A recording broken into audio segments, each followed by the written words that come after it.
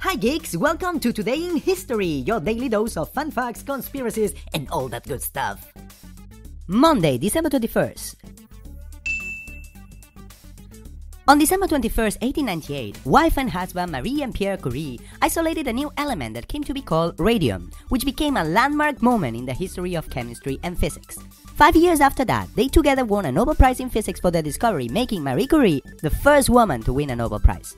As for Pierre, his satisfaction over winning a Nobel was short lived. He was run over by a horse drawn carriage and killed in an accident in Paris in 1906. Marie continued with their work and she became the first person to receive a second Nobel Prize in 1911, this time for chemistry. She spent the rest of her life in science, much of it promoting the healing properties of radium.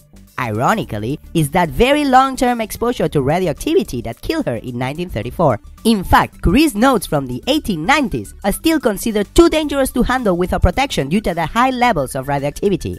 Extra fun fact Did you know that the Curie family has won a total of five Nobel Prizes, with two of Marie's daughters winning a Nobel Prize in Chemistry in 1935 and a Nobel Peace Prize in 1965?